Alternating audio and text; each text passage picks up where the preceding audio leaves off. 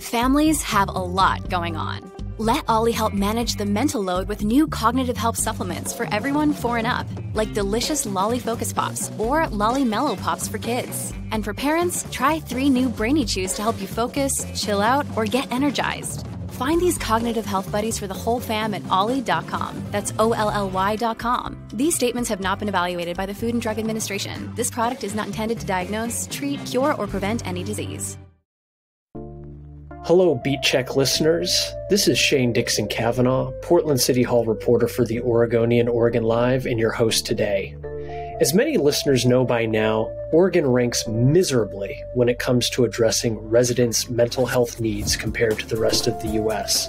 Especially troubling, our state is dead last, the absolute worst in the nation, in balancing the prevalence of youth mental illness with access to care. That's left many families with a teen in crisis or struggling with addiction no choice but to send them out of state for treatment. But efforts are also underway to fill some of the most glaring gaps in Oregon's youth mental health system. Joining me today is my colleague, Nicole Hayden, who recently published a three part series on youth mental health in our state. Nicole, thanks so much for being here. Thanks for having me. So, you've written that Oregon has the most youth ages 12 to 17 who have reported having a mental illness, and that's about 21%. Yet the state has struggled to keep services for them open and operating consistently. How slim are the current options here? Um, what can you tell us? Yeah, uh, it's pretty slim. Um, you know, Oregon has 327 licensed mental health beds for youth. But um, when you look at actually the number of beds that are staffed, we only have about 280. And then as you get down to decide, like if your child needs addiction treatment or mental health treatment, um, there's even fewer options. So as you get more specific, there are fewer and fewer beds available that families are competing for against other families. And tell me about some of the families you spoke to for this series. And by the way, listeners, uh, as usual, we will include links to all of these articles in our show notes. And I strongly urge you to to read all of the pieces in this series because it was excellent. Um, but yeah, uh, uh, in terms of the families you spoke to, Nicole, uh, tell us a little bit about what they had to do to get help for their teens in this context. Yeah, so um, one father I spoke to said he called nearly 30 uh, facilities for his teen who had relapsed. Um, and, you know, some told him they didn't accept teens, some said they didn't accept teens with substance use disorder, some didn't have clinical detox, which is needed if uh, a child is going through a painful uh, detox um, from opioids or something. And uh, many others just said they weren't accepting new patients and they didn't even offer a wait list. So, this uh, parent, like many other parents I spoke to, ended up spending a lot of money to send their child out of state. Um, this family paid 3300 out of pocket because their insurance covered a big portion of the cost. Another family I spoke to who also uh, sent their child out of state paid $11,000 because they could only find a facility that was out of their insurance network. Um, so it's taking a lot of time, a lot of money, uh, and every day that you wait to get your child in care is one extra scary day that you're afraid they might overdose or not make it.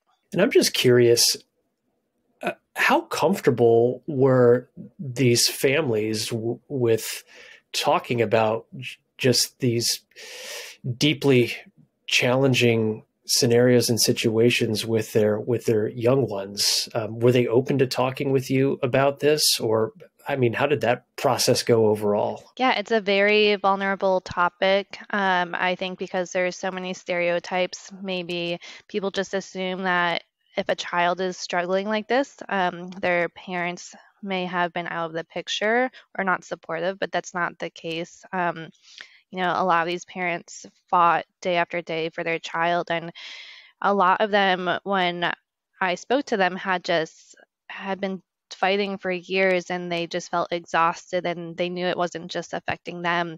So they felt like they needed to speak out and needed to share their stories so that the people who make decisions could understand how hard it is and understand what's needed. Mm. And that really, you know, not just the parents, but the teens, they also know what they need and they want to advocate for themselves so other people other teens don't go through the same thing.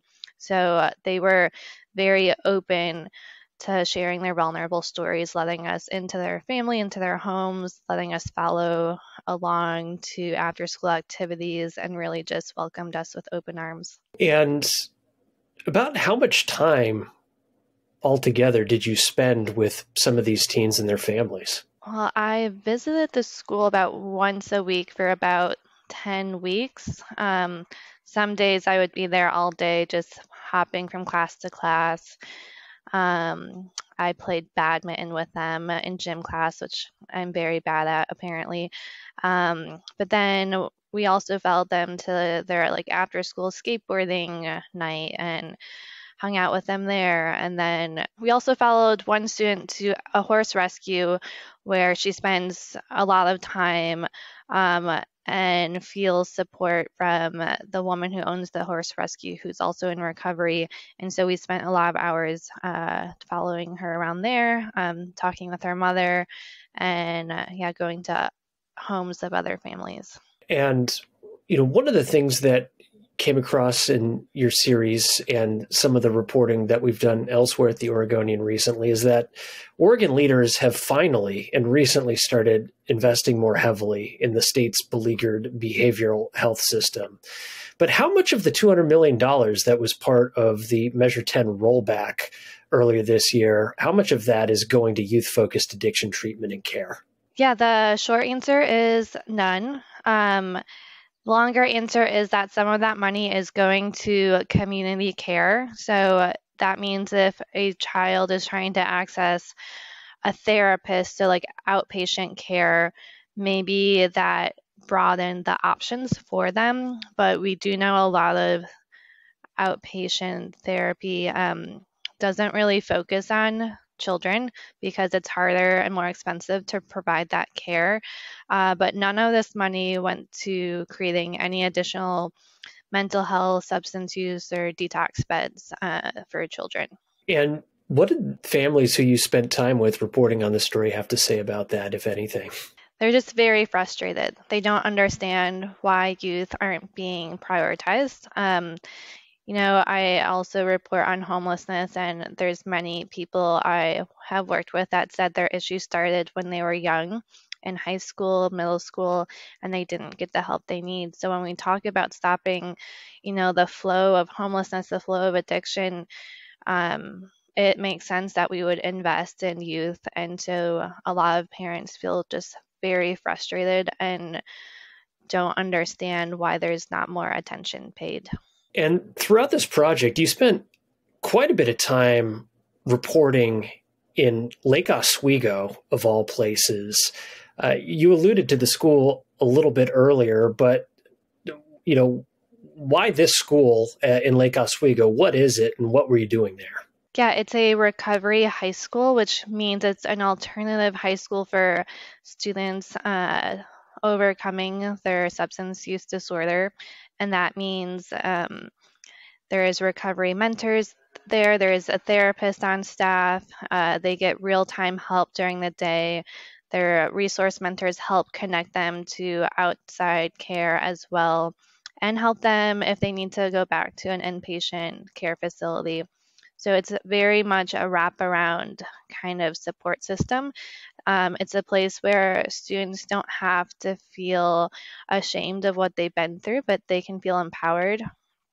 And it's one of two recovery high schools in the state, and it's the first one that um, ever opened. And the principal is very uh, the principal really cares about advocating for more resources and she really encourages the kids to use their experience to kind of advocate for other students and give them a platform to share their stories and she'll take them to the legislature or to community events to share uh, their experiences. And it just happens to be located in Lake Oswego because there was a building there specifically um, marked for uh, vulnerable youth. And so it made it an affordable place to open the school. But um, it serves the Tri County area, and most students there are not from the Lake Oswego School District. Mm-hmm. And yeah, the name of that school is Harmony Academy, right? Correct. And when exactly did the school open? How long has it been operating for?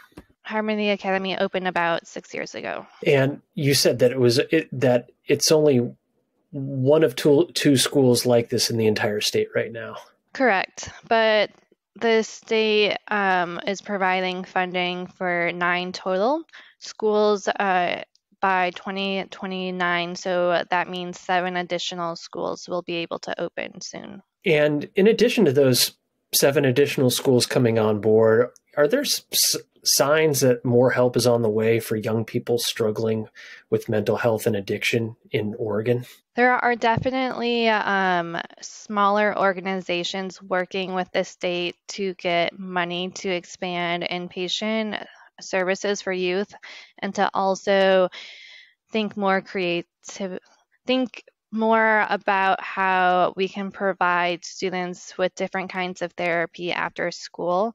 Um, and so I think there are small signs that we're moving forward, but I don't think we've seen a big signal from the state that they're about to dump a lot of money into this. And in terms of the teens and youth that you spent a lot of time with and their families, I mean, are there particular things that they're advocating for, asking more for from state and local leaders that just aren't coming on board at this time? Yeah, they need uh, more providers that are trained to work with youth because what's successful in therapy for an adult is different than what's successful for a teenager.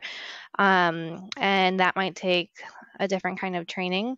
They also want um, psychiatrists who feel comfortable subscribing medication to treat opioid disorder for youth. Um, which some providers uh, don't feel comfortable with yet, even though that's medical best practice.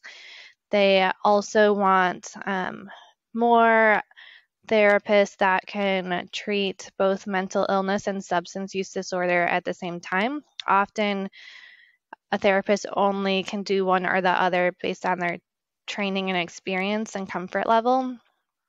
And then also, the teens shared that they want better like crisis lines. So if they are struggling in the middle of the night and maybe they don't feel like they can call their therapist at 3 a.m. or wake up their mom or something. They want a crisis line that feels human and empathetic and that really walks them through those big feelings in that moment. And sort of the last thing I wanted to discuss with you about your project and series on teen mental health is one of the components to the piece was that you actually you and uh, Connor from our newsroom worked with the students themselves to do some really amazing photo, video, and other multimedia components uh, to to help tell this story. Can you talk a little bit more about what you all did together? Yeah, so when I was first starting uh, to interview uh, students, I was struck by how eloquent they were and how insightful they were about what they needed and what their experience was. Um, and hearing it in their voices, their very youthful voices, was very compelling. And I wanted other people to be able to hear that because no matter how I could write it myself, um, it still would not get close to being able to hear a very childlike voice talk about what they went through and what they know they need. And I also wanted to give them the platform to tell policy leaders what mattered to them and show what they uh, felt was meaningful in their lives, since we know a lot of decisions are often made without ever talking to youth. Um, and we really wanted to give them an opportunity to feel empowered and proud of what they have overcome. And we wanted to really show uh, how lovely they were like throughout the day in school what life looked like how healthy they were and we also gave one student um, some disposable cameras to kind of captured her favorite parts of the day and you know she took some photos of staff members at the school and went on a senior ski trip and took the cameras there and you know, that made her and the other students feel very excited and like they were kind of leading this project and we weren't just here kind of showing trauma, but showing hope, and they appreciated that. Well, Nicole Hayden, thank you so much for joining me today to talk a little bit more about your really remarkable series. Thank you so much for having me. Thanks so much for listening to Beat Check with the Oregonian. If you like this show, give us a five star rating and review on Apple Podcasts. It really helps people find the show. And tell a friend, help spread the word.